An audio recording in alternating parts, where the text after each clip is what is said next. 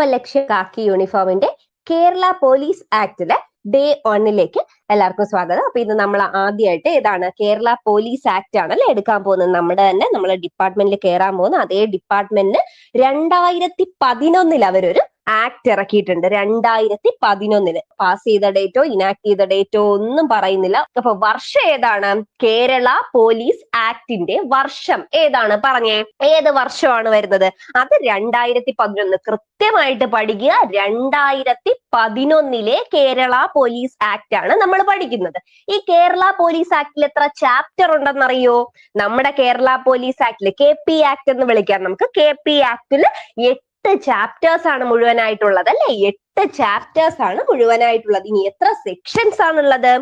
എത്ര സെക്ഷൻസ് ആണുള്ളത് പറഞ്ഞേ? അത് നൂറ്റി മുപ്പത്തി ഒന്ന് സെക്ഷൻസ് ആണ് അല്ലെ? കറക്റ്റ് ആണ്. നൂറ്റി മുപ്പത്തി ഒന്ന് കൃത്യമായി പഠിക്കുക. എട്ട് ചാപ്റ്റേഴ്സും നൂറ്റി മുപ്പത്തി ഒന്ന് സെക്ഷൻസുമാണ് ഈ കേരള സംസ്ഥാനത്തിന്റെ പോലീസ് സേനയെ ഒന്ന് ഏകീകരിക്കാനും എന്തൊക്കെയാണ് അവരുടെ അധികാരങ്ങൾ അവരുടെ കർത്തവ്യങ്ങൾ അവരെ ആരെയൊക്കെ നിയന്ത്രിക്കണം അവർ സ്വയം എങ്ങനെ നിയന്ത്രിക്കണം എന്നൊക്കെയുള്ള കാര്യങ്ങൾ പറയുന്നതാണ് ഈ കേരള പോലീസ് ആക്ട് എന്ന് പറയുന്നത് അതിനൊരു എന്താണ് കോർഡിനേഷൻ നമ്മൾ ഒരു കാര്യത്തിന് വേണ്ടി ഒരു ആക്ട് ഇറക്കുന്നത് എന്തിനാണ്? നിയമം. ഇങ്ങനെ ഒരു നിയമം ഉണ്ടെന്ന് എല്ലാരെയും അറിയിക്കാനും എല്ലാ കാര്യങ്ങളും ക്രോഡീകരിക്കാനും വേണ്ടിയാണ് അല്ലെ? ആദ്യമായിട്ട് നമ്മുടെ കേരള പോലീസ് ആക്ടിന്റെ ഒരു പ്രതിജ്ഞ പോലെ അവരുടെ ഒരു പ്രിയാമ്പിള പോലെയൊക്കെ അവർ പറയുന്നുണ്ട്. അവരിങ്ങനെയൊക്കെ എന്താണ് ആളുകൾക്ക് വേണ്ടി സേവനം ചെയ്യണമെന്നും അവരുടെ മതിയായ വ്യവസ്ഥകളായ അധികാരങ്ങളും ഉത്തരവാദങ്ങളും അവർ കൃത്യമായി നിറവേറ്റണം അല്ലെങ്കിൽ നിറവേറ്റും എന്നൊക്കെ പറഞ്ഞുകൊണ്ട് അവർക്കൊരു പ്രയാമ്പിൾ പോലെയൊക്കെ ആദ്യമുണ്ട്. അതൊന്നും നമുക്ക് വലിയ കാര്യമുള്ള കാര്യമൊന്നുമല്ല. നമുക്ക് നേരെ സെക്ഷൻസിലേക്കാണ് പോയത്. നമുക്ക് നമുക്ക് ആദ്യത്തെ അഞ്ച് സെക്ഷൻസ് നമുക്ക് പറഞ്ഞിട്ടുള്ള ആദ്യത്തെ അഞ്ച് സെക്ഷൻസ് ആയ ഒന്ന് മൂന്ന് നാല് ഏഴ് എട്ടാണ് പഠിക്കാനുള്ളത്.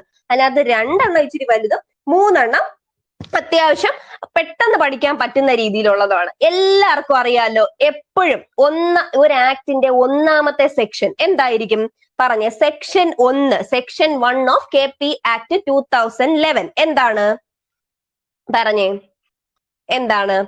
അതെ title short title extend commencement അതിനൊരു മാറ്റവും ഇല്ല. ചുരുക്കപ്പേര് വ്യാപ്തി പ്രാരംഭം. ചുരുക്കപ്പേര് വ്യാപ്തി പ്രാരംഭം. അല്ലെ? ചുരുക്കപ്പേര് എന്താണ് നമ്മൾ പറഞ്ഞു? കെ പി ആക്ട് അഥവാ Kerala police act. Kerala police നിയമം രണ്ടായിരത്തി പതിനൊന്ന് എന്നാണ് ഇതിന്റെ പേര്. ചുരുക്കപ്പേര്. ഇനി വ്യാപ്തി എന്താണ്? വ്യാപ്തി നമ്മൾ ഐ പി സി ഒക്കെ ഇന്ത്യയിൽ ഉടനീളം എന്ന് പഠിച്ചപ്പോ കേരള പോലീസ് ആക്ട് എവിടെ എവിടെ മുഴുവനാണ് അപ്ലൈ ആവുന്നത്? കേരള സംസ്ഥാനം മുഴുവൻ. അല്ലെ? കേരള സംസ്ഥാനം മുഴുവനാണ് കേരള പോലീസ് ആക്ട്.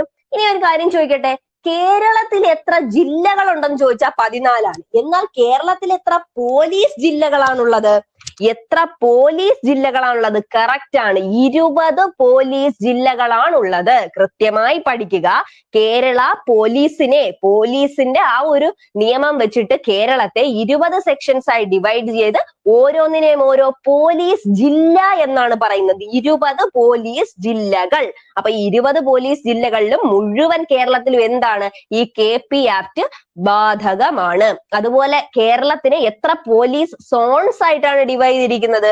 സോണലുകളായി ഡിവൈഡ് ചെയ്തിട്ടുണ്ട്. എത്രയാണ്? അത് രണ്ടാണ് കേട്ടോ. രണ്ട് സോണൽ. ഏതൊക്കെയാണെന്ന് അറിയാവോ? ഏതൊക്കെ ആയിരിക്കും രണ്ടായിട്ട് ഡിവൈഡ് ചെയ്യുന്നവർ പറയുമ്പോൾ നമുക്ക് അറിയാം ഏതാണ്? തെക്കും വടക്കുമാണ്. സൗത്ത് സോണും നോർത്ത് സോണും കറക്റ്റ് ആണ്. വടക്ക് സോണും അതുപോലെ തന്നെ തെക്ക് സോണും എന്താണ്? നോർത്ത് സോൺ നോർത്ത് സോണൽ അതുപോലെ സൗത്ത് സോണൽ എന്ന് പറയുന്ന രണ്ട് സോൺസ് ആയിട്ടാണ് കേരള പോലീസിന് കംപ്ലീറ്റ് ആയിട്ട് ഡിവൈഡ് ചെയ്തിരിക്കുന്നത്. അതിനകത്ത് തന്നെ ഇരുപത് പോലീസ് ജില്ലകളും ഉണ്ട്. ഇത് ഇതിന്റെ വ്യാപ്തി പറയുന്നതാണ്.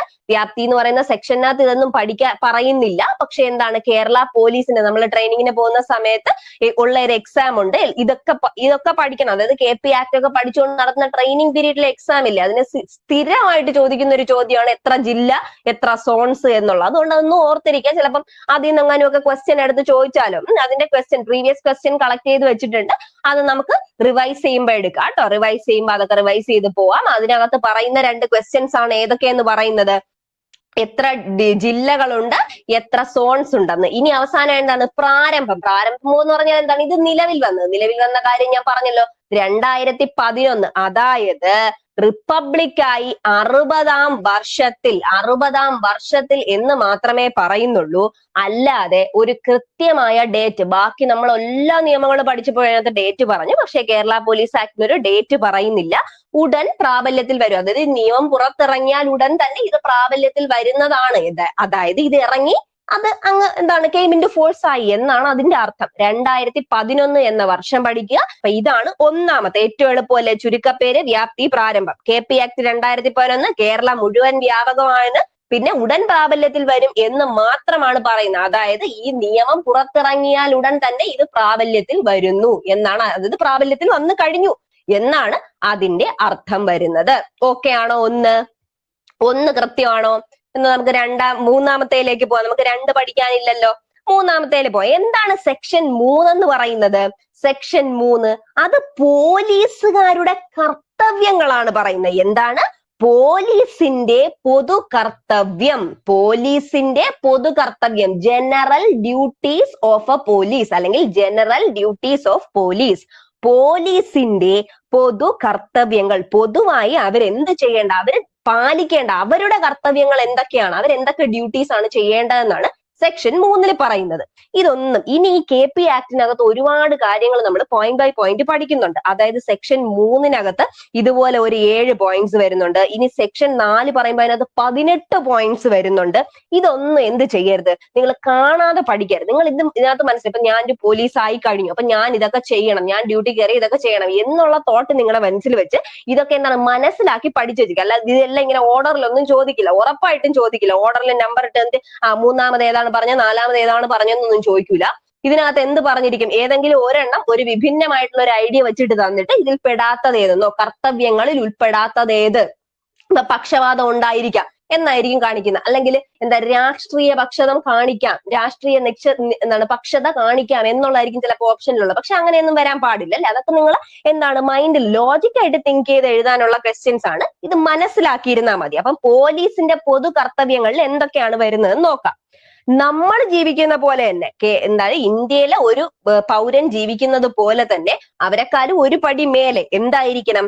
ഭരണഘടനയ്ക്ക് വിധേയമായിരിക്കണം നമ്മുടെ ഡ്യൂട്ടി. പോലീസുകാരൻ നമ്മളൊരു പോലീസുകാരനാണെന്ന് വിചാരിക്കുക പോലീസിന്റെ ഡ്യൂട്ടി എങ്ങനെയായിരിക്കണം? ഭരണഘടനയ്ക്ക് വിധേയമായിരിക്കണം. ചിലപ്പോ ഇത് തന്നെ തിരിച്ചു ചോദിക്കാം അല്ലേ? കാരണം കെ പി ആക്ട് ഉണ്ട് കേരള പോലീസിന് വേറെ നിയമങ്ങളൊക്കെ ഉണ്ടെന്ന് പറഞ്ഞിട്ട് നമുക്ക് ഭരണഘടന എടുത്തു കളയാൻ പറ്റുമോ ഇല്ലല്ലേ. ഐ പി സി മാത്രമേ ബാധകമുള്ളൂ എന്നൊക്കെ പറഞ്ഞ ഓപ്ഷൻ വന്നാൽ അതിലൊന്നും വീഴു പോരുത് എന്താണ്? നമ്മൾ ഭരണഘടനയ്ക്ക് വിധേയമായിട്ടാണ് എന്ത് ചെയ്യുന്നത്? നമ്മുടെ കർത്തവ്യങ്ങൾ നിറവേറ്റുന്നത്. രണ്ടാമത്തെ പോയിന്റ് എന്താണ് പറയുന്നത്? ജനങ്ങൾക്കിടയിൽ പ്രവർത്തിക്കുക. എന്ത് ചെയ്യുക? ജനങ്ങൾക്കിടയിൽ പ്രവർത്തിക്കുക എന്നാണ് പറഞ്ഞിരിക്കുന്നത്. ആദ്യം നമ്മൾ പറഞ്ഞത് ഭരണഘടനയ്ക്ക് വിധേയമായി ഭരണഘടന വ്യവസ്ഥകളുടെ ഭാഗമായി ജീവിക്കുക അല്ലെങ്കിൽ പ്രവർത്തിക്കുക. രണ്ട് ജനങ്ങൾക്കിടയിൽ പ്രവർത്തിക്കുക. ഒരു സേവനം ചെയ്യുന്ന പോലെ ഒരു സർവീസ് ചെയ്യുന്ന അതേ കാര്യത്തിൽ എന്ത് ചെയ്യുക? ഒരു സർവീസ് ആരുടെ ഇടയിൽ ചെന്ന് ചെയ്യുക? ജനങ്ങൾക്കിടയിൽ പ്രവർത്തിക്കുക. മൂന്നാമത്തെ ഒരു കാര്യം പറയുന്നത് എന്താണ്? ക്രമസമാധാന പാലനം. നമ്മൾ ആദ്യം ഒരു പോലീസ് എന്ന് പറയുമ്പോഴേ നമുക്കല്ലേ തോട്ടിൽ വരുന്ന എന്താണ്? അവർ ക്രമസമാധാനം പാലിക്കുന്ന ആൾക്കാർ അല്ലെങ്കിൽ പാലിക്കപ്പെടാൻ നമ്മളെ നമ്മളെ കൺട്രോൾ ചെയ്യുന്ന ആൾക്കാരാണ് അല്ലെ? ക്രമസമാധാന പാലനമാണ് അവരുടെ മെയിൻ പിന്നെ വേറെന്താണ്? അഖണ്ഡത അതായത് ഇന്റഗ്രിറ്റി എല്ലാം കൊണ്ടുപോവുക എല്ലാം ക്രോഡീകരിച്ച് ഒത്തു കൊണ്ടുപോകാൻ അഖണ്ഡത പാലിക്കാനും പോലീസ് വേണം. അത് പോലീസിന്റെ കർത്തവ്യമാണ്. ഇന്റഗ്രേഷൻ പാലിക്കുക ഇന്റഗ്രേഷൻ പാലിപ്പിക്കുക. മറ്റുള്ളവരെ കൊണ്ട് ഇന്റഗ്രേ ഒരു ലീഡറിനെ പോലെ നിന്ന് ഇന്റഗ്രേഷൻ ഉണ്ടാക്കുക. പിന്നെ രാഷ്ട്ര സുരക്ഷ അല്ലെ? നമ്മളെപ്പോഴും പറയുന്ന ക്രമസമാധാനം രാഷ്ട്ര സുരക്ഷ. അതിൽ രണ്ടാമത്തെ ഇപ്പൊ നമ്മൾ പറഞ്ഞ പോയിന്റ് ഉണ്ട് അല്ലെ? രാഷ്ട്ര സുരക്ഷ. പിന്നെന്താണ്? മെയിൻ ആയിട്ട് ഭരണഘടന പറഞ്ഞു. അതിനോടൊപ്പം തന്നെ പറയേണ്ടതാണ് എന്ത്? മനുഷ്യാവകാശ സംരക്ഷണം. ഒരു പോലീസുകാരന്റെ ഡ്യൂട്ടിയാണ് ടു ടേക്ക് കെയർ ഓഫ് എന്താണ്? ഫണ്ടമെന്റൽ റൈറ്റ്സ് അല്ലെ? മനുഷ്യാവകാശത്തെ സംരക്ഷിക്കുക. അത് എല്ലായിടത്തും പ്രാബല്യത്തിൽ വരുന്നുണ്ടോ? അത് എല്ലാവരും ചെയ്യുന്നുണ്ടോ? എല്ലാവരും അതിന് മറ്റുള്ള മറ്റുള്ള ജനങ്ങളുടെ മനുഷ്യാവകാശങ്ങൾ സംരക്ഷിക്കപ്പെടുന്നുണ്ടോ എന്നൊക്കെ നോക്കേണ്ടത് ആരാണ്? ഒരു പോലീസുകാരനാണ്. അതുപോലെ അവസാനമായിട്ട് ഒരു പോയിന്റ് കൂടെ പറയുന്നു. സ്വാതന്ത്ര്യവും അവകാശവും ഉറപ്പുവരുത്തുക ആരുടെ? ജനങ്ങളുടെ സ്വാതന്ത്ര്യവും ജനങ്ങൾക്കുള്ള അവകാശങ്ങളും ഉറപ്പുവരുത്തുക ഇതെല്ലാം എന്താണ്? പോലീസിന്റെ പൊതു കർത്തവ്യങ്ങളാണ്. അപ്പൊ പോയിന്റ് ബൈ പോയിന്റ് പഠിക്കുക. ഇതൊരു വലിയ സെന്റൻസ് പോലെയാണ് യഥാർത്ഥത്തിൽ നമ്മുടെ ആക്ടിനകത്ത് കൊടുത്തിരിക്കുന്നത്. നമ്മൾ പോയിന്റ് ആകെ വേർഡ്സ് മാത്രം പഠിച്ചിരുന്നാൽ മതി. ഷോർട്ട് നോട്ട് എഴുതുമ്പോൾ ഈ വേർഡ്സ് പഠിച്ചിരുന്നാൽ മതി. അതിനെ വലുതാക്കി ഇതിനെല്ലാം കൂടെ ഒരു വലിയ സെന്റൻസ് ആക്കിയാണ് എന്ത് ചെയ്തിരുന്നത് ആക്ടിൽ എഴുതിയിരിക്കുന്നത്. അപ്പൊ ഞാൻ ഒന്നുകൂടെ വായിക്കാം. ഭരണഘടനയ്ക്ക് വിധേയമായി ജനങ്ങൾക്കിടയിൽ പ്രവർത്തിക്കുന്ന ക്രമസമാധാന പാലനം കാത്തുസൂക്ഷിക്കുന്ന അഖണ്ഡത കാത്തുസൂക്ഷിക്കുന്ന രാജ്യസുരക്ഷ സംരക്ഷിക്കുന്ന മനുഷ്യാവകാശത്തെ സംരക്ഷിക്കുന്ന സ്വാതന്ത്ര്യവും അവകാശവും ഉറപ്പുവരുത്തുന്ന ഒരു കർത്തവ്യം. ഈ കർത്തവ്യങ്ങളാണ് എന്ത്? പോലീസിന്റെ പൊതു കർത്തവ്യം എന്ന് പറയുന്നത്. ഭാരതത്തിന്റെ ഭരണഘടനയ്ക്കും അതിൻ കീഴിൽ നിർമ്മിച്ചിട്ടുള്ള നിയമങ്ങൾക്കും വിധേയമായി ഭരണവ്യവസ്ഥയുടെ ഭാഗമായി ജനങ്ങൾക്കിടയിൽ പ്രവർത്തിക്കുന്ന ഒരു സേവന വിഭാഗമാണ് പോലീസ് എന്ന് പറയുന്നത്. ക്രമസമാധാനവും രാഷ്ട്രത്തിന്റെ അഖണ്ഡതയും രാഷ്ട്ര സുരക്ഷയും മനുഷ്യാവകാശ സംരക്ഷണവും ഉറപ്പുവരുത്തുന്ന നിയമപ്രകാരം എല്ലാ ആളുകൾക്കും ലഭിക്കുന്ന സ്വാതന്ത്ര്യവും അവകാശവും അവർ അനുഭവിക്കുന്നു എന്ന് ഉറപ്പാക്കുന്നതിനായി പോലീസ് നിയമാനുസൃതമായി യത്നിക്കേണ്ടതാണ്. ഇതിനൊക്കെ വേണ്ടി എന്ത് ചെയ്യണം? നമ്മൾ പോലീസുകാര് പ്രയത്നിക്കണം യത്നിക്കണം ഇതിനു വേണ്ടി പ്രവർത്തിക്കണം. ഇതാണ് നമ്മുടെ കർത്തവ്യങ്ങൾ എന്നാണ് പറയുന്നത്. ഏഴ് കുഞ്ഞു പോയിന്റ്സ് ആയിട്ട് പഠിച്ചു വെച്ചിരുന്ന എത്ര ഈസി ഭരണഘടനാ വ്യവസ്ഥ രണ്ടാമത് പറഞ്ഞ ജനങ്ങൾക്കിടയിൽ മൂന്ന് ക്രമസമാധാനം നാല് അഖണ്ഡത അഞ്ച് രാഷ്ട്ര സുരക്ഷ ആറ് മനുഷ്യാവകാശ സംരക്ഷണം ഏഴ് സ്വാതന്ത്ര്യവും അവകാശവും ഉറപ്പുവരുത്തുക. അപ്പൊ ഇത് തലയിൽ കയറ്റിയാൽ മതി. കാണാതെ പഠിക്കരുത്. ഇത് തലയിലേക്കകത്ത് കയറ്റുക. എന്തൊക്കെയാണ് ഒരു പോലീസിന്റെ ഡ്യൂട്ടി എന്നുള്ള ഏഴ് പോയിന്റ്സ് കാണാതെ പഠിക്കണ്ട. അപ്പൊ ഇതല്ലാതെ വേറൊരെണ്ണം തന്നാൽ അല്ലെങ്കിൽ മലയാളം നല്ല കൃത്യമായിട്ട് മലയാളം വാക്ക് വായിച്ചു നോക്കണം. ചിലപ്പോൾ ഇതിന്റെ ഓപ്പോസിറ്റ് ചെറിയൊരു ആയോ നീയോ ഒക്കെ ചേർത്ത് ഇതിന്റെ ഓപ്പോസിറ്റ് ചിലപ്പോൾ തന്നേക്കാം അല്ലേ? രാഷ്ട്രീയ നിഷ്പക്ഷത മാറ്റിട്ട് രാഷ്ട്രീയ പക്ഷത എന്ന് തന്നേക്കാം ചിലപ്പോ. അങ്ങനെയൊക്കെ ചെറിയ ഒരു പോയിന്റിന്റെ വ്യത്യാസത്തിലൊന്നും പോകരുത്. ഇത് ഇത്രയും വേർഡ്സ് കൃത്യമായിട്ട് തലയിൽ ഉൾക്കൊള്ളുക. ഇതൊക്കെ തന്നെയാണ് എന്തെന്ന് പറയുന്നത്? പോലീസിന്റെ കർത്തവ്യങ്ങൾ. അപ്പൊ സെക്ഷൻ ത്രീ എന്തെന്ന് ചോദിച്ചാൽ കെ പി ആക്ടിന്റെ സെക്ഷൻ ത്രീ പോലീസിന്റെ പൊതു കർത്തവ്യങ്ങളാണ്. പോലീസിന്റെ പൊതു കർത്തവ്യങ്ങൾ. ഓക്കെ ആണോ? പോലീസിന്റെ general duties of police okay ആണോ? സെക്ഷൻ ത്രീ അപ്പൊ നമുക്ക് അടുത്തതിലോട്ട് പോകാം. ഏറ്റവും എളുപ്പമുള്ളതാണ് ഏതാണ്? കുറച്ച് പോയിന്റ്സ് ഒരു പതിനെട്ട് പോയിന്റ്സ് ഉണ്ടെന്നേ ഉള്ളൂ. എല്ലാം ഇതുപോലെ തന്നെ നമ്മൾ ലോജിക്കലി ആലോചിച്ച് ചെയ്യേണ്ട. ഒരു പോലീസുകാരനായിട്ട് അങ്ങ് നിന്ന് ആലോചിച്ചാൽ മതി. എന്താണ്? കർത്തവ്യം കഴിഞ്ഞു. ഇനി എന്താണ് നമുക്ക് പറയേണ്ടത്? അയാളുടെ ഫങ്ഷൻസ് ആണ്. ഒരു പോലീസുകാരന്റെ ഫങ്ഷൻസ് ചുമതലകൾ എന്തൊക്കെയാണ് ചുമതലകൾ. മറ്റത് എന്തായിരുന്നു കർത്തവ്യങ്ങളായിരുന്നു. കർത്തവ്യങ്ങൾ. ഇങ്ങനെയൊക്കെ ചെയ്യണം. ഇനി ചുമതല എന്താണ്? നമ്മൾ നമ്മളൊരു എന്താണ്? ഒരു എന്താണ്? ഒരു റോബോട്ടാണ് ചിന്തിക്കുക. ആ റോബോട്ടിന് എന്തൊക്കെ കാര്യങ്ങൾ ചെയ്തു തീർക്കണം? എന്നുള്ളതാണ് ചുമതല. നമ്മൾ ഇതൊക്കെ ചെയ്യണം ഇതൊക്കെ ചെയ്യണം. കർത്തവ്യം എന്തായിരുന്നു? നമുക്ക് ഇതിനൊരു ബോധ്യം വേണം. ഇതൊക്കെ സംരക്ഷിക്കണം എന്നുള്ളതാണ്. ഇനി പറയുന്ന എന്താണ്? ഇതൊക്കെ ഈ കാര്യങ്ങളൊക്കെ നമുക്ക് ചെയ്തു തീർക്കേണ്ടതാണ്. ഫങ്ഷൻസ് ആണ്. ആദ്യം പറഞ്ഞത് ഡ്യൂട്ടീസ് മൂന്നിൽ പറഞ്ഞത് ഡ്യൂട്ടീസ് നാലിൽ പറയുന്നത് ഫങ്ഷൻസ് ആ മൂന്നിൽ പറയുന്നത് നമ്മുടെ ലോജിക്കലി ഉള്ള എന്താണ്? നമ്മൾ ചെയ്യേണ്ട കർത്തവ്യങ്ങൾ. നമുക്ക് ചില കടമകളുണ്ട്. അത് ചെയ്ത് തീർക്കണമെന്നാണ്. ഇനി നാലിൽ നമുക്ക് കുറച്ച് ജോലിയുണ്ട്. അതാണ് പറയുന്നത്. ഫങ്ഷൻസ് എന്ന് പറഞ്ഞാൽ എന്താണ്? നമ്മൾ ചെയ്യേണ്ട ഫങ്ഷൻസ് നമ്മൾ ചെയ്യേണ്ട ജോലികളാണ് പറയുന്നത് നാലാമത്തേൽ. എന്താണ്? പോലീസിന്റെ ചുമതലകൾ പോലീസിന്റെ ചുമതലകൾ. ഒരു പോലീസ് ഉദ്യോഗസ്ഥൻ ഈ ചുമതലകളൊക്കെ നിർവഹിക്കണം എന്ന് പറഞ്ഞിട്ട് ഒരു പതിനെട്ട് കാര്യം പറയുകയാണ്. കാണാ പഠിക്കേണ്ട. ഓരോന്നും നമ്മൾ ഒരു പോലീസുകാരനായിട്ട് നിന്ന് ആലോചിച്ചാൽ മതി. ഒന്ന് ഞാൻ നേരത്തെ പറഞ്ഞ അതേ കാര്യം. പക്ഷഭേദം കൂടാതെ നിയമം നടപ്പിലാക്കുക. നമ്മുടെ മാമനോ മച്ചമ്മയോ ആണ് അവിടെ വരുന്നത്. അവന്റെ പേരിൽ ഒരു കേസ് ഉണ്ടെന്ന് പറഞ്ഞാൽ അവനെ ചുമ്മാ പറഞ്ഞു വിടാൻ പറ്റുമോ ഇല്ല. ഇനി നമ്മൾ വിശ്വസിക്കുന്ന ഒരു രാഷ്ട്രീയ പാർട്ടിയിൽ ഒരു ഒരു പ്രശ്നം വന്നു. അവരെയാണ് സ്റ്റേഷനിലോട്ട് കൊണ്ടുവന്ന് അവരോട് അങ്ങനെ എന്തെങ്കിലും ചെയ്യാൻ പറ്റുമോ ഇല്ല. നമുക്കറിയുന്ന ആൾക്കാരോ നമ്മൾ വിശ്വസിക്കുന്ന ഒരു ആൾക്കാരുടെ ഇടയിലുള്ളതോ അല്ലെങ്കിൽ നമുക്ക് അത്രയും ഇഷ്ടമുള്ള ഒരാളോ അങ്ങനെ ഒന്നും നമ്മൾ നോക്കരുത്. എല്ലാരെയും ഇപ്പൊ അതുപോലെ തന്നെ ഈ ജാതി വ്യവസ്ഥയിലൊക്കെ ഈ തമിഴ്നാട്ടിലൊക്കെ സീൻ നമുക്ക് ഇപ്പോഴത്തെ സിനിമകളൊക്കെ കണ്ടാൽ അറിയല്ലേ തമിഴ്നാട്ടിലൊക്കെ എന്താണ് താഴ്ന്ന ജാതിയിലുള്ളവരൊക്കെ പോലീസ് എന്താണ് നായ്ക്കളത് തെരുവിലെ നായ്ക്കളെ നമ്മൾ നോക്കുന്ന പോലെ അങ്ങനെയൊക്കെ ആണ് അടിക്കുന്നതും അങ്ങനെയുള്ള കാര്യങ്ങളൊക്കെ ചെയ്യുന്നത്. അങ്ങനെയൊന്നും ചെയ്യാൻ പാടില്ല അല്ലെ? വലിയവർക്ക് വലുത് അങ്ങനെ പൈസ ഉള്ളവർക്ക് അങ്ങനെ അങ്ങനെയുള്ള ഒരു ഒരു തരത്തിലും പക്ഷഭേദം കാണിക്കരുത്. എന്തിലും ആയിക്കോട്ടെ കാസിലോ ക്രീഡിലോ സെക്ഷനിലോ സെക്സിലോ എന്ത് കാര്യത്തിലോ ആയിക്കോട്ടെ എന്ത് കാണിക്കാൻ പാടില്ല. പക്ഷഭേദം കൂടാതെ നിയമം നടപ്പിലാക്കുക. ഈസിയാണ് രണ്ടാമത്തെ പോയിന്റ് ബി എന്താണ് പറയുന്നത്? എല്ലാ ആളുകളുടെയും ജീവൻ സ്വാതന്ത്ര്യം സ്വത്ത് മനുഷ്യാവകാശം അന്തസ് എന്നിവ നിയമാനുസൃതം സംരക്ഷിക്കുക. അപ്പൊ ജീവൻ സംരക്ഷിക്കണം സ്വാതന്ത്ര്യം സംരക്ഷിക്കണം സ്വത്ത് സംരക്ഷിക്കണം മനുഷ്യാവകാശം സംരക്ഷിക്കണം അന്തസ്സിനെ സംരക്ഷിക്കണം. ഈ അഞ്ച് കാര്യങ്ങൾക്കും സംരക്ഷണം കൊടുക്കണം. നമ്മൾ കർത്തവ്യത്തിൽ പറഞ്ഞ അതേ കാര്യം തന്നെയാണ് ഇവിടെയും പറയുന്നത്. ജീവനും സ്വാതന്ത്ര്യവും സ്വത്തും മനുഷ്യാവകാശവും അന്തസ്സിനെയും എന്ത് ചെയ്യണം? കാത്തു സൂക്ഷിക്കണം സംരക്ഷിക്കണം. ഇതൊന്നും ഡിഫൈൻ ചെയ്യേണ്ട കാര്യമേ ഇല്ല. വായിക്കാം. അടുത്ത സി എന്താണ്? മൂന്നാമത്തെ പോയിന്റ് രാഷ്ട്രത്തിന്റെ ആഭ്യന്തര സുരക്ഷ കാത്തു സൂക്ഷിക്കുക. അതല്ലേ നമ്മൾ നേരത്തെ പറഞ്ഞ എന്താണ്? ക്രമസമാധാനം എന്ന് പറഞ്ഞല്ലേ? രാഷ്ട്രത്തിന്റെ ആഭ്യന്തര ആഭ്യന്തര സുരക്ഷ കാത്തു സൂക്ഷിക്കുക തീവ്രവാദ പ്രവർത്തനങ്ങൾ വർഗീയ ആക്രമണം ആഭ്യന്തര കലാപം മുതലായവയ്ക്കെതിരെ എന്ത് ചെയ്യുക? ജാഗ്രതയോടെ പ്രവർത്തിക്കുക എന്നും പറഞ്ഞിട്ടുണ്ട്. അടുത്തെന്താണ്? പൊതുസുരക്ഷ. അടുത്തെന്താണ്? പൊതുജനങ്ങളുടെ സുരക്ഷ തന്നെയാണ്. പൊതുസുരക്ഷ എന്ന് പറഞ്ഞാൽ പൊതുജനങ്ങളുടെ ഉണ്ട്. അതുപോലെ തന്നെ പൊതു സാധനങ്ങളുടെ ഉണ്ട് അല്ലെ? പൊതു സാധനങ്ങളായിട്ടുള്ള ഒരുപാട് കാര്യങ്ങളുണ്ട് അല്ലെ? പബ്ലിക്കിന്റെ കാര്യങ്ങളുണ്ട്. ഇപ്പൊ നമ്മുടെ വെയിറ്റിംഗ് ഷെഡ് ആവാം അല്ലെങ്കിൽ ഒരു ബസ് സ്റ്റാൻഡ് ആവാം. അങ്ങനെയുള്ള സാധനങ്ങളും സൂക്ഷിക്കുന്നത് ആര് തന്നെയാണ്? ഒരു പോലീസുകാരന്റെ ചുമതല തന്നെയാണ്. പൊതുസുരക്ഷ. പൊതുജനങ്ങളുടെയും സാധനങ്ങളുടെയും സ്ഥാപനങ്ങളുടെയും സുരക്ഷ ഉറപ്പാക്കുന്ന ക്രമീകരണങ്ങൾ പ്രോത്സാഹിപ്പിക്കുകയും കാത്തു സൂക്ഷിക്കുകയും പൊതു സമാധാനം നിലനിർത്തുകയും ചെയ്യുക. ഇതൊക്കെ നമുക്ക് കെ പി ആക്ട് വായിച്ചാൽ തന്നെ മനസ്സിലാവുന്ന കാര്യങ്ങൾ. അതുകൊണ്ടാണ് വായിച്ചു പോകുന്നത്. അടുത്ത എന്താണ് അടുത്ത അഞ്ചാമത്തെ പോയിന്റ് എന്താണ് പറയുന്നത്? അപായങ്ങളിൽ നിന്നും ഉപദ്രവങ്ങളിൽ നിന്നും പൊതുജനത്തെ സംരക്ഷിക്കുക അല്ലെ? ഒരു ഫ്ലഡ് വരുമ്പോഴും അല്ലാതെ ഇതുപോലത്തെ നമുക്ക് അസുഖങ്ങളൊക്കെ വരുമ്പോഴും പാൻഡമിക് വന്നപ്പോഴും ഒക്കെ മുന്നിലുണ്ടായിരുന്നു അല്ലെ? അതൊക്കെ എന്താണ്? അപായങ്ങളിൽ നിന്നും മറ്റു ഉപദ്രവങ്ങളിലൊക്കെ നിന്ന് നമ്മുടെ പോലീസ് രക്ഷിക്കുന്നതാണ്. അടുത്ത് എഫ് ആറാമത്തെ പോയിന്റ് എന്താണ്? റോഡുകൾ റെയിൽവേ പാലങ്ങൾ മർമ്മപ്രധാനമായ പ്രതിഷ്ഠാപനങ്ങൾ. പ്രതിഷ്ഠാപനങ്ങൾ എന്ന് പറഞ്ഞാൽ എന്ത് പറയാം? നമുക്ക് സ്റ്റാച്യു പറയാം അല്ലെങ്കിൽ നമുക്ക് മോണമെന്റ്സ് പറയാം. അങ്ങനെ എല്ലാത്തിനും എന്തിൽ വരും? പ്രതിഷ്ഠാപനങ്ങളിൽ വരും. പ്രതിഷ്ഠ ചെയ്ത സാധനങ്ങൾ സ്ഥാപനങ്ങൾ എന്നിവ ഉൾപ്പെടെ എല്ലാ പൊതു സ്വത്തുക്കളും സംരക്ഷിക്കേണ്ടതും ആര് തന്നെയാണ്? പോലീസുകാർ തന്നെയാണ്. അടുത്ത ഏഴാമത്തെ പോയിന്റ് നിയമപരമായ അധികാരങ്ങൾ പരമാവധി ഉപയോഗിച്ച് കുറ്റകൃത്യങ്ങൾ തടയുകയും അത് കുറച്ചു കൊണ്ടുവരികയും ചെയ്യുക. അപ്പൊ എന്താണ്?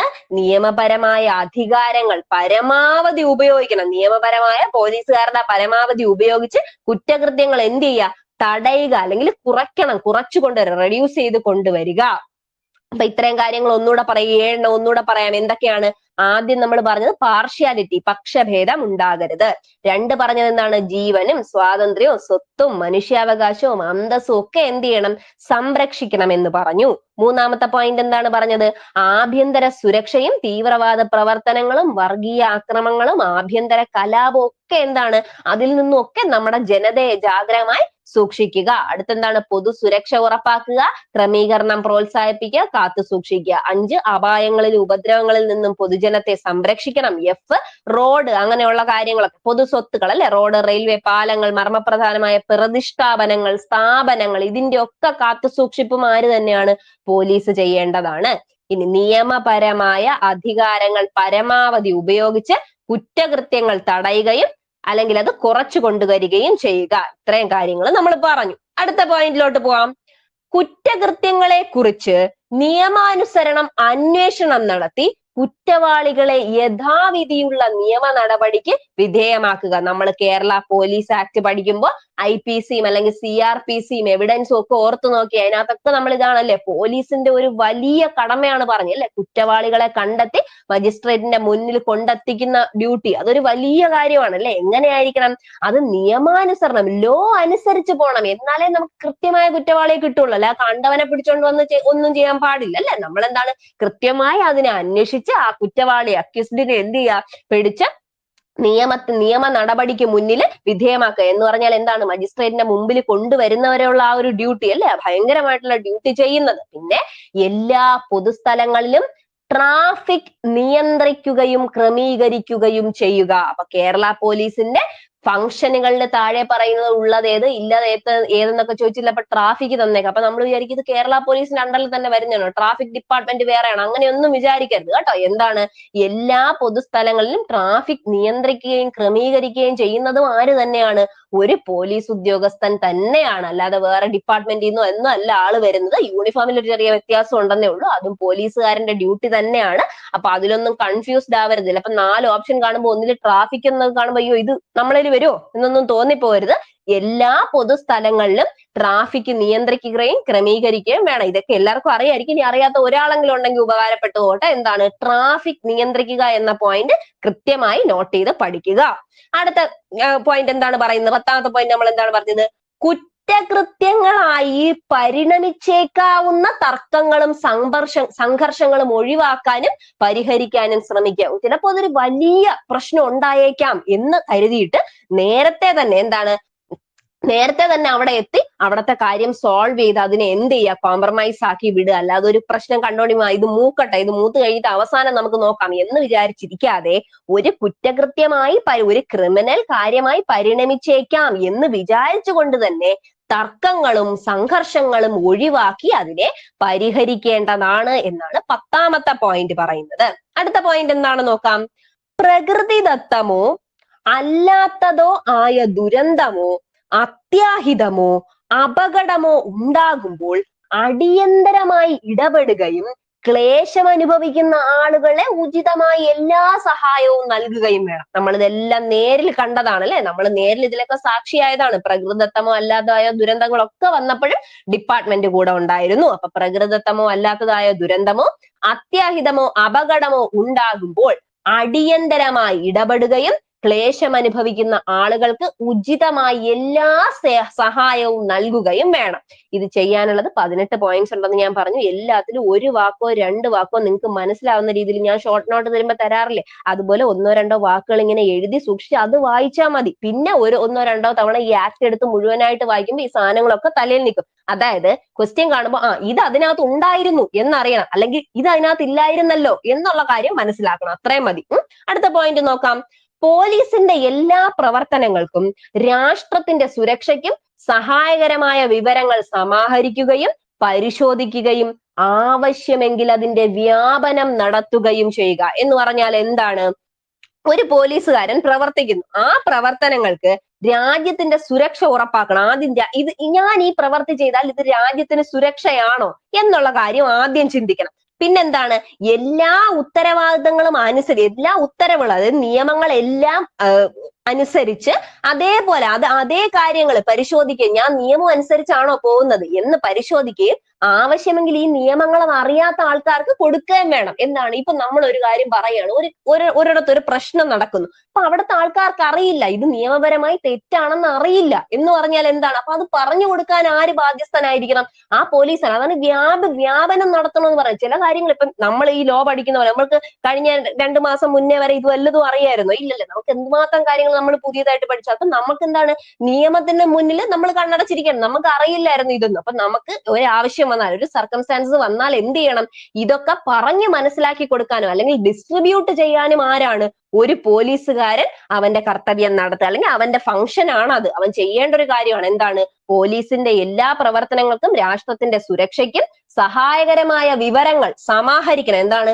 അതെല്ലാം കൂടെ കൂട്ടി കൂട്ടിയോജിക്കണം നിങ്ങൾ എവിടെന്നെങ്കിലുമൊക്കെ ഇൻഫർമേഷൻ കളക്ട് ചെയ്തുകൊണ്ടേ ഇരിക്കണം. അതിനെ പരിശോധിക്കണം. ഇതൊക്കെ ക്രോസ് ചെക്ക് ചെയ്യണം. ശരിയാണോ? എന്നുള്ള കാര്യം ക്രോസ് ചെക്ക് ചെയ്യണം. നിയമവുമായിട്ട് വെച്ചിട്ട്. നമ്മൾ ജുഡീഷ്യൽ റിവ്യൂ ചെയ്യുന്ന പോലെ. പിന്നെ ആവശ്യമെങ്കിൽ എന്ത് ചെയ്യണം? അതിന്റെ വ്യാപനവും നടത്തണം. ഇതൊക്കെ ആൾക്കാരിൽ എത്തിക്കണം. ഇങ്ങനെ ചെയ്താൽ പ്രശ്നമാണ്. ഇങ്ങനെ ചെയ്തില്ലെങ്കിൽ പ്രശ്നമാണ് എന്നൊക്കെ ആൾക്കാരോട് പറയണം.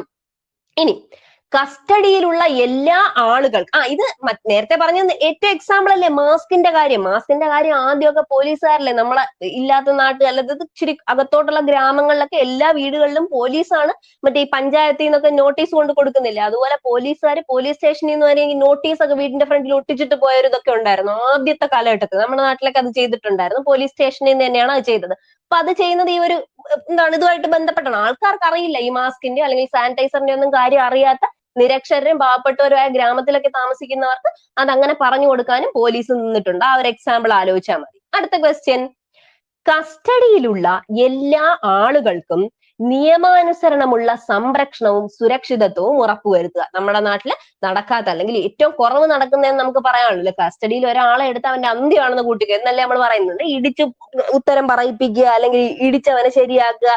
എന്താണ് ഇടിച്ച് സാക്ഷി പറയിപ്പിക്കുക അങ്ങനെയുള്ള കാര്യങ്ങളൊന്നും ചെയ്യാൻ പാടില്ല അല്ലെ? ഒരാൾ സുരക്ഷിതമായിട്ടിരിക്കണം എന്നാണ്.